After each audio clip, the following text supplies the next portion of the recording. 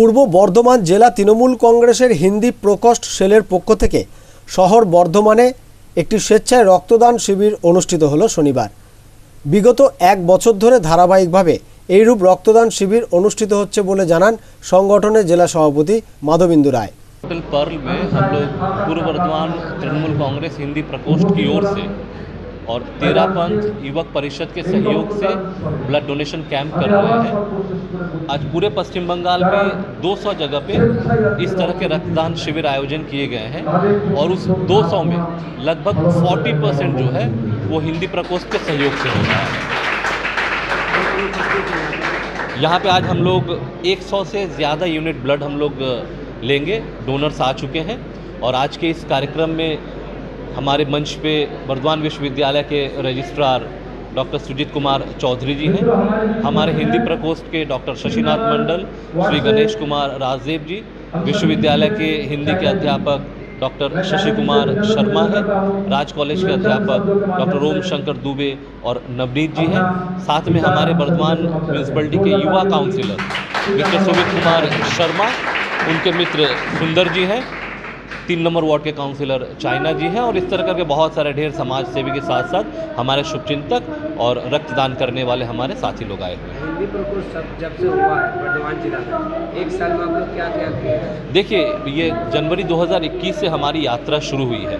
माननीय मुख्यमंत्री जनवरी महीने 2021 के शुरू में एक मीटिंग तृणमूल भवन में आयोजित की थी और व्यक्तिगत हम लोगों से मिलके ये हम लोगों की खुशनसीबी थी। एक हम लोगों को मिशन दिया था कि पूरे पश्चिम बंगाल में लगभग जो दो करोड़ हिंदी भाषी है, उनको किस तरह से एक कड़ी में जोड़ा जाए और हिंदी भाषियों को जोड़ने के कड़ी के रूप में हमारे हिंदी प्रकोष्ठ ने काम किया है।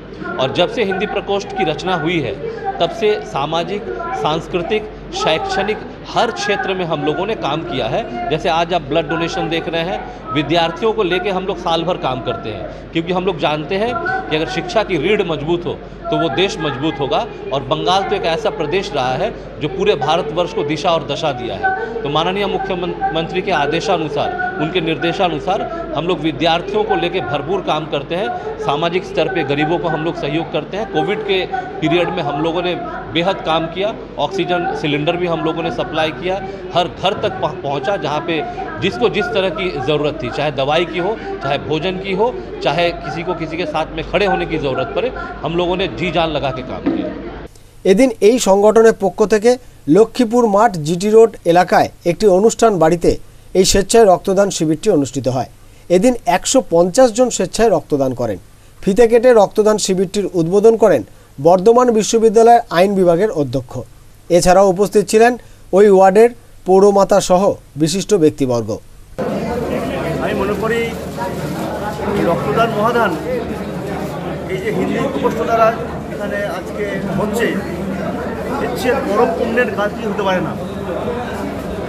আমি মনে হয় সারা বছর আমরা বিভিন্ন মন্দির মসজিদ গির্জায় পূজা করি, তাতে যা পুণ্য হয়, একদিন রক্তদান করে তার অনেক পুণ্য হয়।